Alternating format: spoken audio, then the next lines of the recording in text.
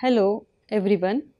Till now we have seen how the literacy and definition of adult education has changed over a period.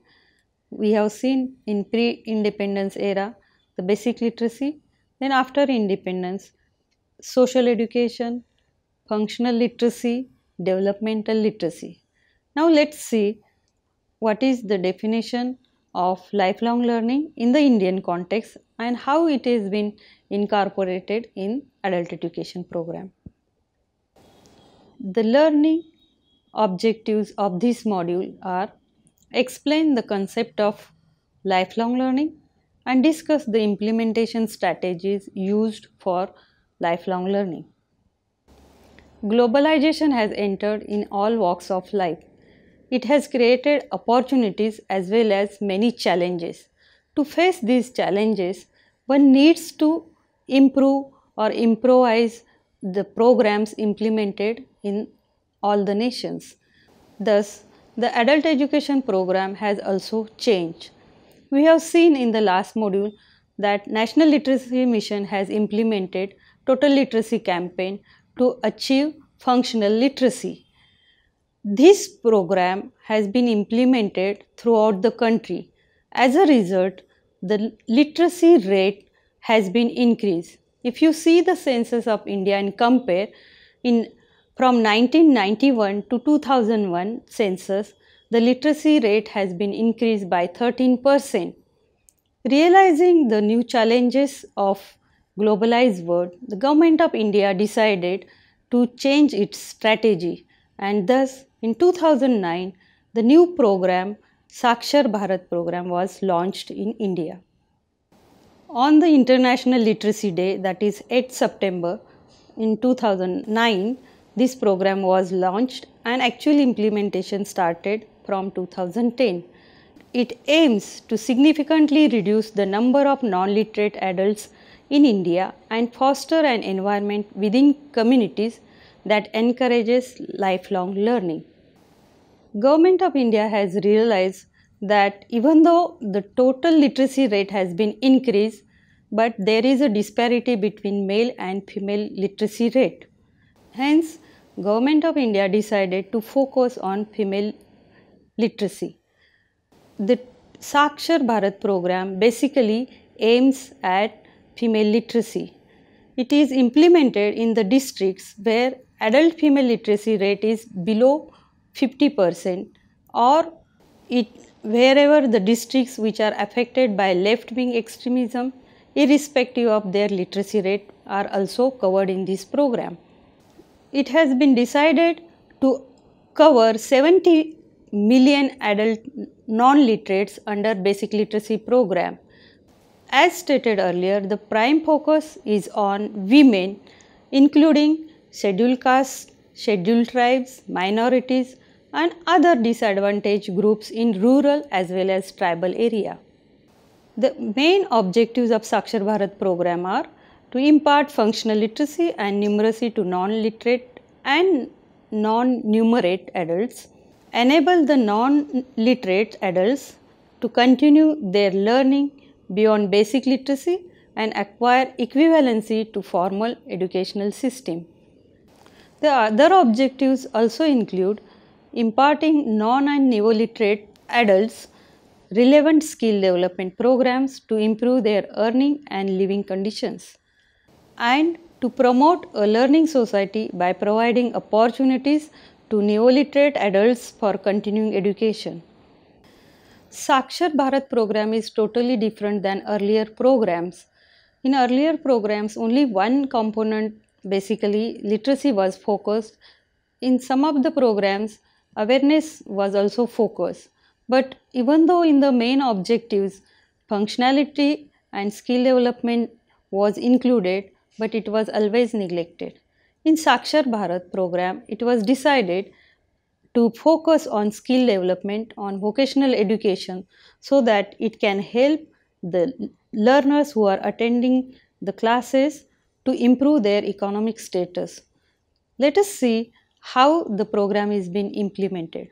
The curriculum uh, includes basically two parts. First part is core content and second part is locally relevant content. Core content is based on national issues. For example, voting and voting system in India. What is the importance of vote and how one can be responsibly vote for a particular candidate that was included. Other issues such as environmental issues, small family norms, age at marriage, all these issues are also included in the core content. The locally relevant content was also very important. That is why each state has different curriculum. It is based on locally relevant issues. For example, in Chhattisgarh, the problems of tribal people may be different than in Maharashtra. So, the locally relevant content was basically based on the needs of the neoliterates as well as needs of the illiterate people.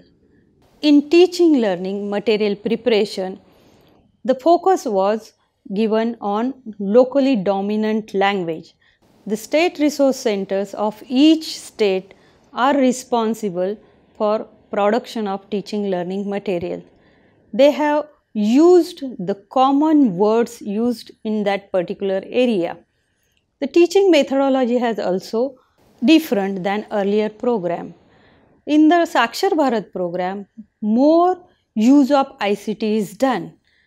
Most of the centers they are having projectors, they are having television sets where they can show films to the learners for creating awareness and then bringing action into their day to day life. Thus, the curriculum and teaching methodology is totally different than earlier program. Another very important feature of Sakshar Bharat program is the content is linked to the learner's livelihood and all the socio-cultural realities are taken into consideration. If a state which is having more superstitious beliefs, then for eradication of such superstitious beliefs, lessons are focused on those issues. Some of the states they might be having health issues, especially women's health, anemia, all these issues are also covered into the curriculum. So, many times if you see the curriculum of the Sakshar Bharat program, it is differing from one state to another state.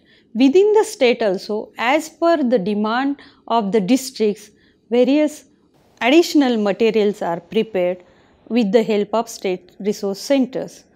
The core content in the lessons encourages awareness of values such as democracy and gender equality. Here, more focus is given on gender equality. For example, age at marriage is focused and what is the importance of uh, legal age for girls it is 18 years. Why it should be 18 years? For boys it is 21 years. Why a boy cannot get married officially and legally before he achieves 21 years? All these issues are discussed in the centers actual teaching is for 300 hours Along with basic literacy, other issues are also covered. Especially vocational education and skill development programs are organized. Sakshar Bharat program is implemented through literacy centers, which is usually called as Lok Shiksha Kendra. Lok any people, Shiksha any education and center. So it is for people's education. In the center itself, vocational component is also included. Janashikshan Sansthas, which are uh, voluntary organizations who conduct various skill development programs. With the help of JSS, various vocational training programs are organized at the Lok Shiksha Kendras. Sometimes it is upgradation of the skills and sometimes new skills are also taught to the learners. Then in addition to this skill development program, there is a provision for library. Various books written by various authors specially for neoliterates to sustain the literacy are given to these libraries and these libraries are run by the instructor which is normally known as volunteer teacher. These Lok Shiksha Kendras which I have already mentioned that is adult education centers they are basically located at the village level and they are managed by two preraks. Especially out of these two preraks one prerak must be a female prerak. It is a compulsory and the educational qualification for both the preraks is minimum 10th standard. Of course, in certain areas, suppose in tribal area, there is no person with who has passed 10th standard. In interior parts, if there is no person with 10th standard education, then in that case this condition is waived. But usually the preraks are qualified and they are working for the improvement of literacy at the national level. These preraks are local residents because it is very easy for these preraks to create a rapport with the learners. Each volunteer teacher teaches 10 learners. To conclude, I would like to say that literacy program in India has come a long way. It has started with basic education and now it has reached to lifelong learning. Mere literacy means a static thing which nobody is interested.